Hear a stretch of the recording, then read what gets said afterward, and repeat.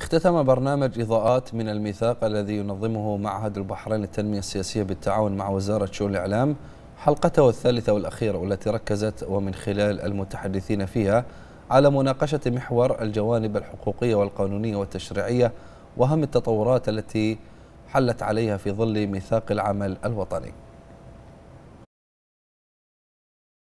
بعدما أتم برنامج إضاءات من الميثاق تسليط الضوء على محورين هامين من محاوره الثلاثة حلت الحلقة الثالثة والأخيرة من البرنامج بمسك ختامها متوجهة وعبر المتحدثين فيها إلى مناقشة أبرز التطورات التي طالت الجوانب الحقوقية والقانونية والتشريعية في ظل ميثاق العمل الوطني أي بعد مرور عشرين عاما على إقرار هذه الوثيقة المتكاملة التي تعد ومضة مشعة لم يخف بريقها يوما في سماء تاريخ البحرين المعاصر.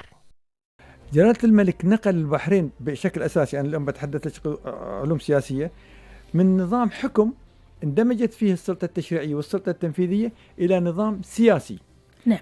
يقوم على فصل السلطات السلطة التشريعية من مجلسين وبالتالي المجلسين يعني يشكلان مجلس النواب ومجلس الشورى مجلس يمثل الآراء الشعبية المختلفة ومجلس يمثل الاختصاصات المختلفة. نعم.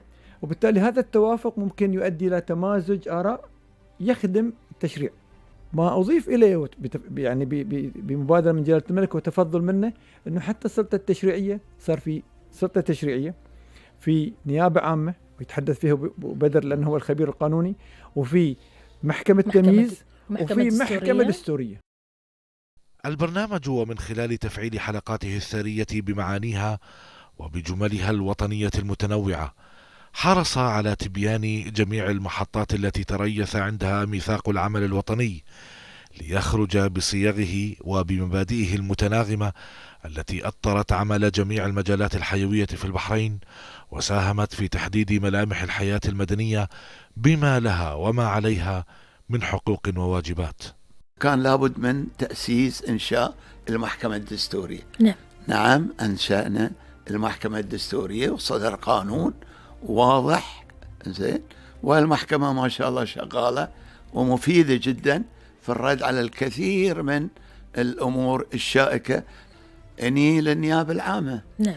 أيضا يعني إحنا بدون نيابة عامة. ونيابة عامة مستقلة. ترى في البداية ما كانت بعد مستقلة كلش. كان الادعاء العام أول كان لا في البداية كان ادعاء عام. إيه، نعم. ويبنى النيابة العامة. آه، ديوان الرقابة المالية والإدارية. نعم. آه هذه منصوص ترى هذه الأشياء. كلها منصوص عليها في الميثاق نعم كان ينادي يعني استكمال الأطر التنظيمية والإدارية نعم. والقانونية لهيئات الدولة وبالتالي الميثاق مو بس آه يعني سد النواقص بل بالعكس طرح رؤى نعم. للمستقبل هذا البرنامج الذي جاء تزامنا مع الذكرى العشرين لإقرار ميثاق العمل الوطني أطل على المشاهد والمستمع في آن معا عبر أثير إذاعة البحرين بترددها 93.3 اف ام وقناة تلفزيون البحرين. طوال أيام ثلاثة استضاف في رحابها العديد من الشخصيات التي كانت شاهدة على عصر الميثاق.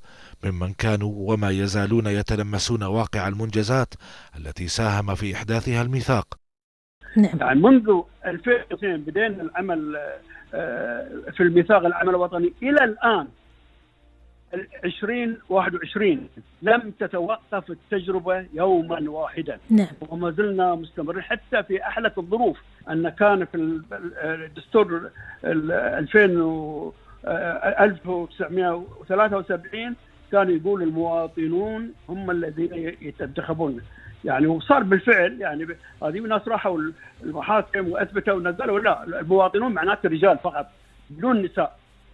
إحنا واجهنا بالشيء نعم. وبعدين قلنا لا المواطنون حطينا بالقوسين رجالا ونساء. نعم. ضمننا حق المرأة في في التصويت والترشح. نعم. ميثاق عمل وطني.